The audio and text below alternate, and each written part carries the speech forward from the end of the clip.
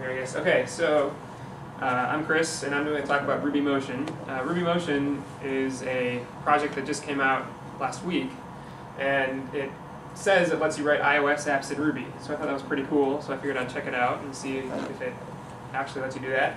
Um, what it does to do that is it um, takes Ruby code, it compiles it to assembly, and that assembly runs on the Objective-C runtime. So you no longer have a Ruby runtime anywhere.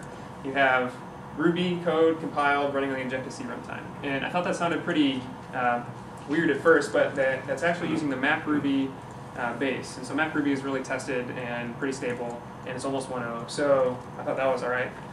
So I downloaded the thing.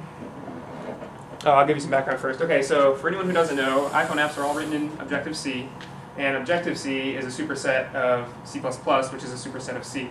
So it goes all the way down to C, Objective-C does, and it basically just adds a lot of um, object-orientedness around C and C++.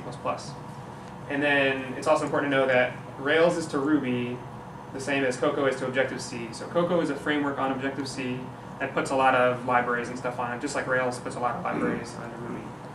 Um, so Ruby Motion is an implementation of that framework, the Cocoa framework, and it's uh, again it runs on the uh, the Objective-C runtime. So some of the features of Ruby Motion are that you can use Ruby or Objective-C libraries, which I thought was pretty cool.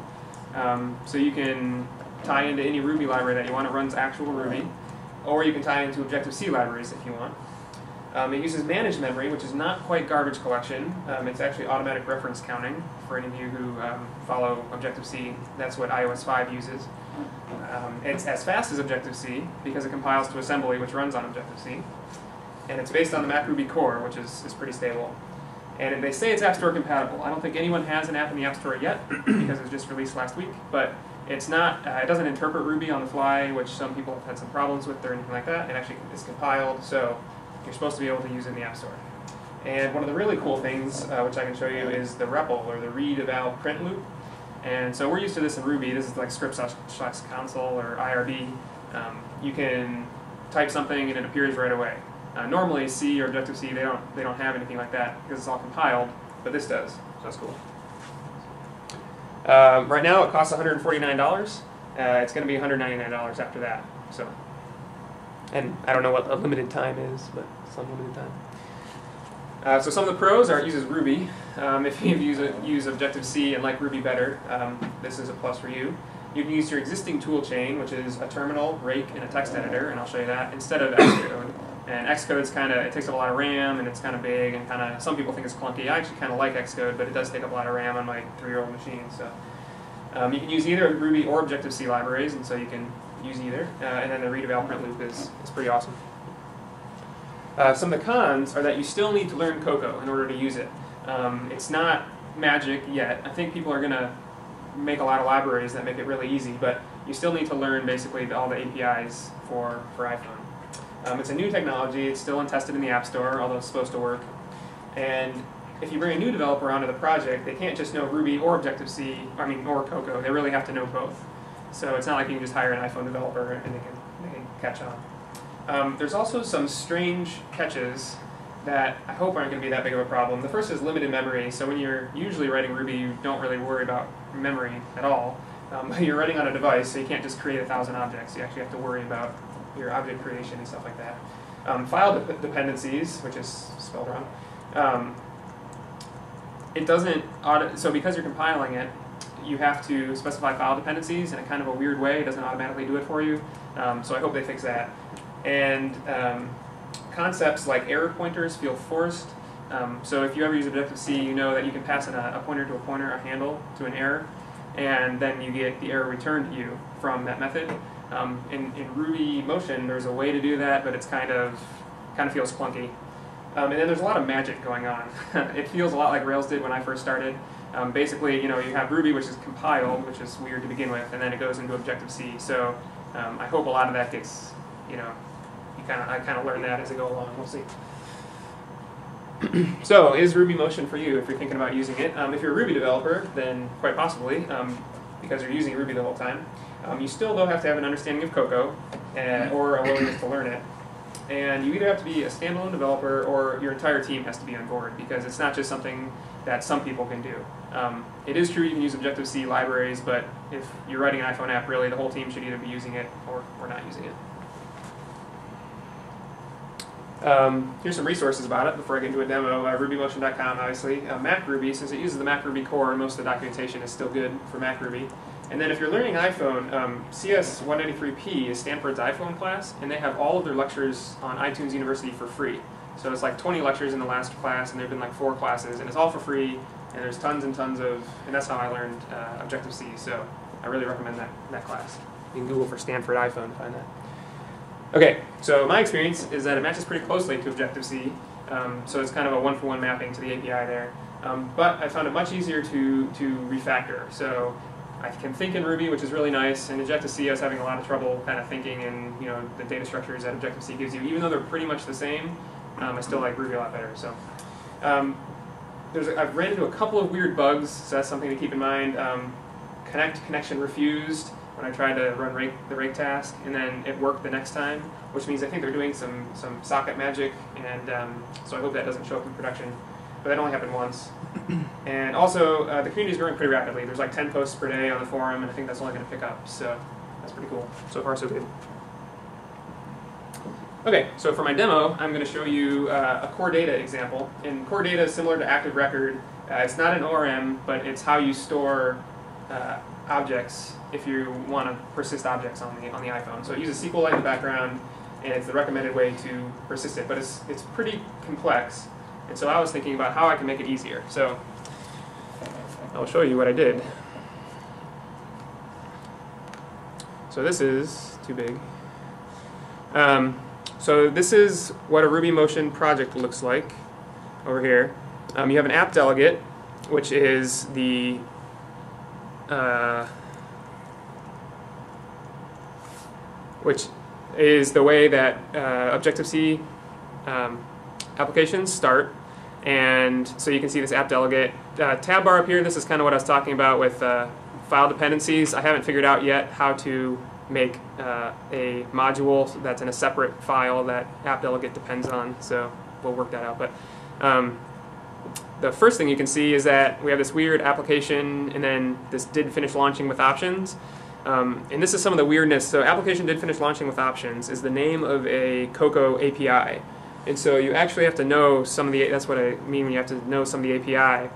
And it has this weird, uh, it uses a new hash syntax to, to name the methods. Um, and it, it also makes this camel case with underscores. So you can see did finish launching with options is camel case. So there's still some weirdness going on there. But anyway, so what I do is I make a controller array.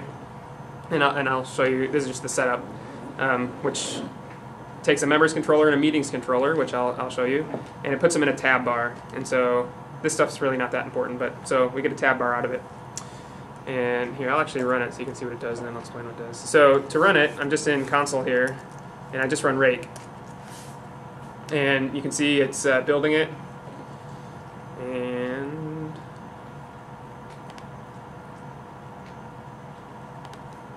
cool, turn this up and that is off the screen. Oh no. Maybe closing and open? Yeah, I think so. Alright, let's try that again.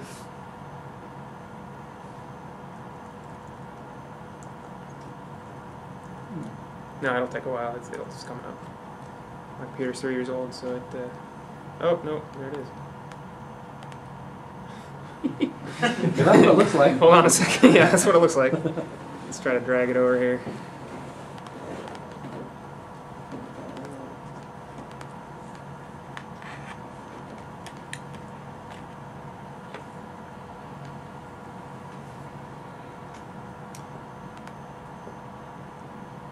All right, there we go. All right, so you can see uh, the tab bars on the bottom, and so we have uh, like members and meetings. So this is like Indy.rb and it's a table view. It's just a regular table view, and uh, you can add things, and you have member name like uh, Bob, and email address. Save it. Then you have Bob, and you can go into and edit and things like that. And so this is pretty basic stuff, but it's uh, I'll show you the code I used to write it. It's pretty magical, I think, so it's kind of cool. I, the first thing I did was I made these CTA classes. My initials are CTA, so I use CTA, but whatever. I um, wrapped core data in a few of these classes. It's kind of hard to see on the projector.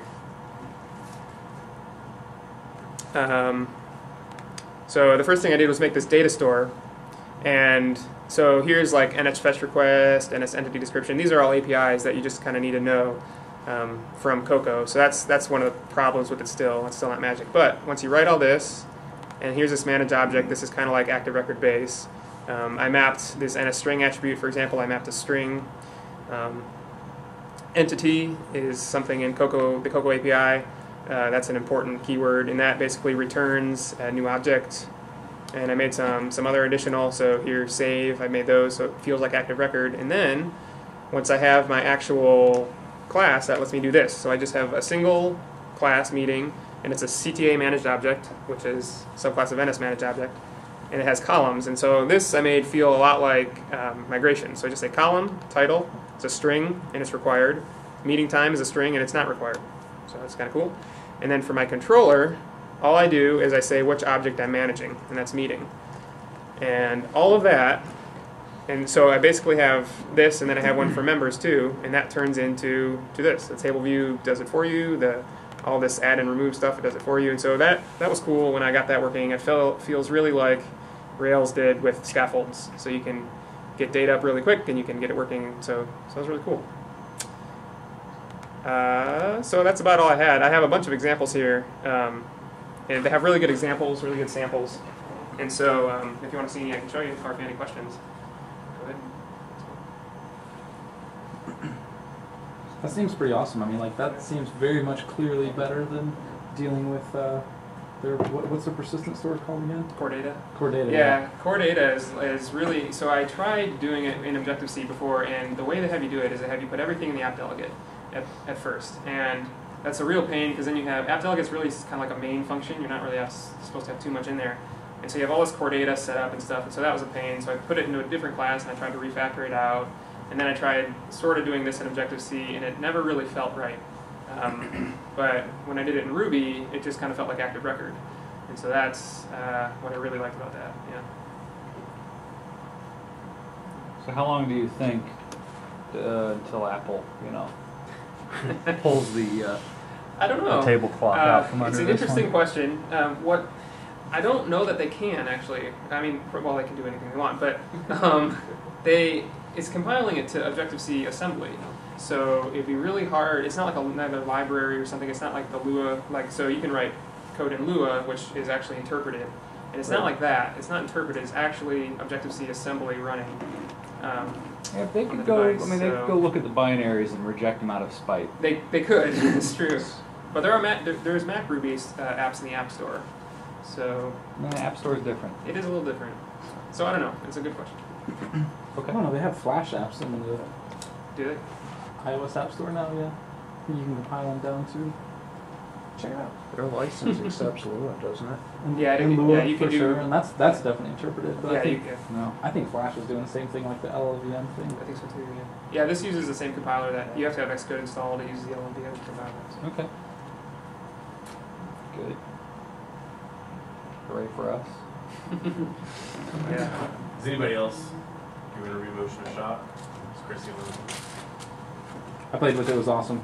Yeah. I ran Rake, Rake Simulate, and Rake Deploy to the phone, and it was just like it was so much easier than Xcode. I Yeah. mean, It felt pretty nice. We got a little trolling from our native uh, I, uh, Objective C programmer.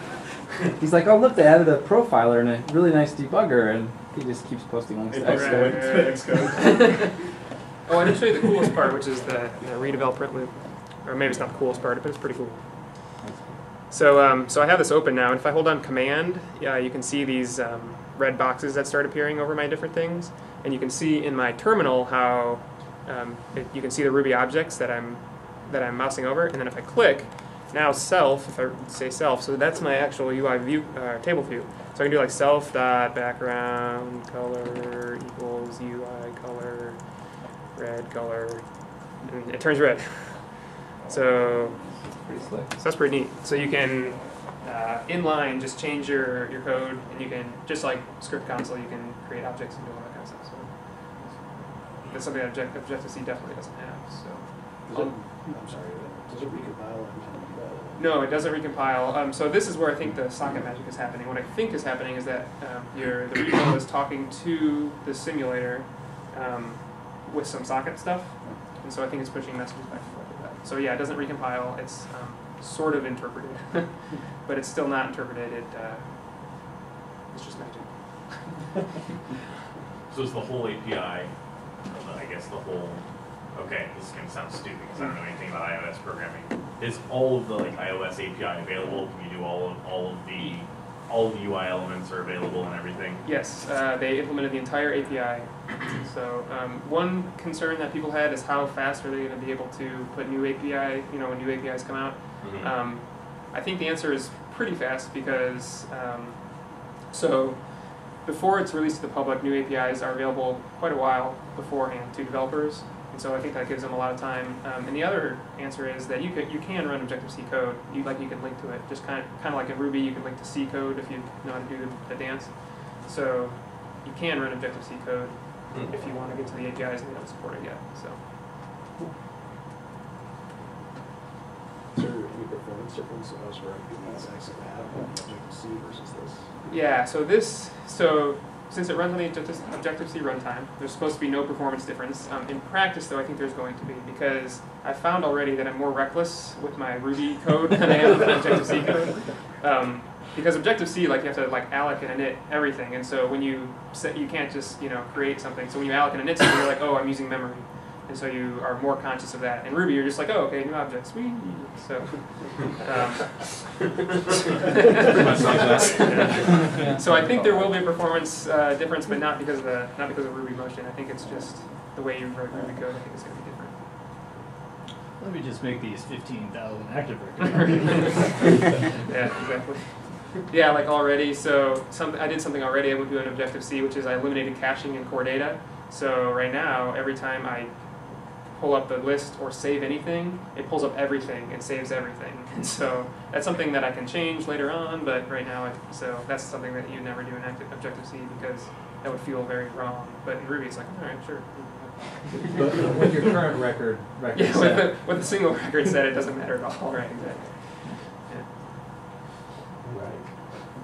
Cool. Thank you, sir. Awesome.